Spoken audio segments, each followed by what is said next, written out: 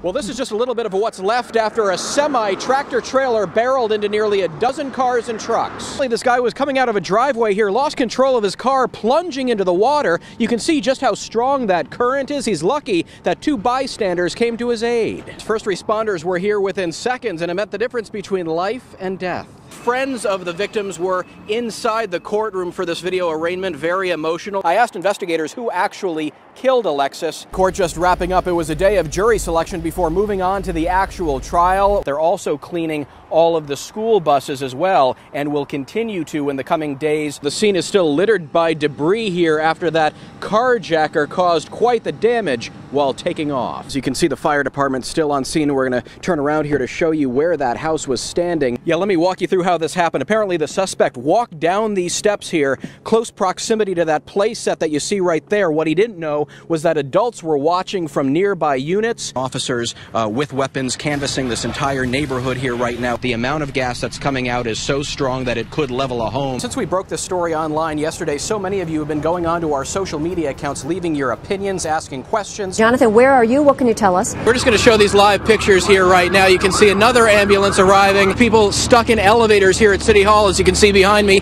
A large presence of firefighters. And if we come back here live, I want to show you on the ground. We've got uh, all of the traffic lights here in downtown that are completely dark. The power is back on, things back to normal. But boy, what a day. The suffering taken out on stretchers, others making their own way to safety after being trapped in elevators and on dark floors, unable to walk the flights of stairs to solid ground. Just glad to be out of there? Glad to be out. Glad to go home.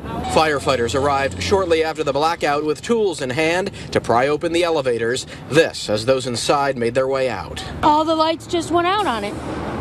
It was blinking and then it shut down. This woman says she was threatened with arrest for refusing to evacuate, unwilling to leave her elderly mother behind. No, I'm not leaving her. She later told us what was going through her mind. It's chaotic, it's dark in there. She's nervous, panicking, having problems breathing because she's scared of height. She doesn't know how she's going to get down these stairs. We got to get her out of there. Even the mayor was trapped at City Hall, his city owned car smashing through the parking lot stop arm to get him out of the complex to run the city remotely. I had Ron Fleming, chief of security, uh, who uh, snapped off the uh, the wood bar. So uh, after that, everybody after that everybody got out of the parking lot.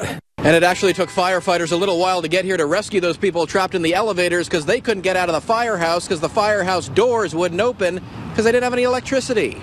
We're live in the city tonight. I'm Jonathan Carlson, 7 Action News. All right.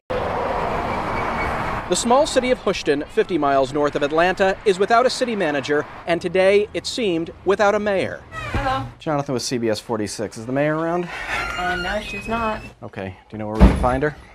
Uh, no, she has not been in the office at all today. Theresa Kenerly is still technically the mayor, but no one at City Hall could reach her. At least that's what they said. We drove around town visiting her listed addresses and couldn't find her there either. The mayor is accused of privately telling fellow council members she pulled the resume of a black candidate for the city administrator position because she didn't feel the city was ready for a black man to lead it. One council member telling me privately today her alleged words and actions were not meant to be outwardly racist, but nonetheless, if true, she may have put the city at risk of violating civil rights laws which protect minorities from job discrimination based on race. As words spread, so did protesters, some locals calling for her ouster. Utter shock! I don't live in a world that's supposed to be thinking like this. This is 2019 now. Within just the last 30 minutes, we caught the mayor arriving for tonight's city council meeting and approached her for comment. I can tell you that I love this town, I love the people, and I am not prejudiced. And back here live, we were the only local television station inside that meeting for that tense confrontation. More from the mayor and what went on inside at 9 and 11 o'clock. As the sun set under a crescent moon, my night was just beginning. So, how long have you been out here? The Bulldog joining a homeless camp under the interstate. This is where you sleep right here? Yeah, this is my this is my particular area. This is all yours? This man didn't want to give his name, but gave his word of protection. Everybody around here nice? Everybody going to be nice to us, or do you have to worry about anybody, or no? You ain't got to worry about nothing. A few hundred yards away, I found a seat next to Cece and his neighbors. Everybody here have a different story? Uh, definitely. His life is here in two suitcases. We end up here for different reasons. Like I said, some because of drugs, some because of mental issues, and some because financially they couldn't support themselves in a regular life. They shut out, and this is the only place for them. I've lived in a lot of different places. This man has been shut out, but hopes it's not forever. Some people don't want to change. You have to want to get out.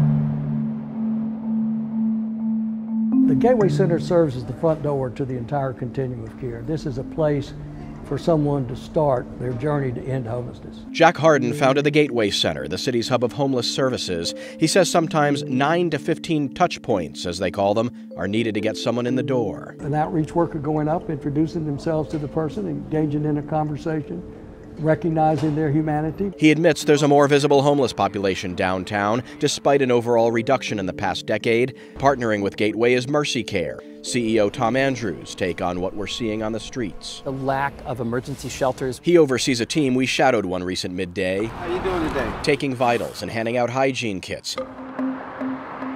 On our night out, as Atlanta hums from the Jackson Street Bridge, just blocks away, a side of the city not so pretty. And back under the overpass, the night dragged on. We continued talking about life down here. I see things. I see bad behavior.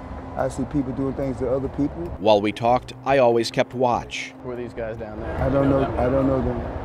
I know this man here, that man there. And the rats that kept us company. Bugs, rat infestation, uh, uh, raccoons. Sounds hard. I mean, it's a hard knock life. You know, we find out you can't make an excuse. You just got to make a way. And with that, it was time to let Cece and his friends try their best to rest. The traffic put you to sleep at night?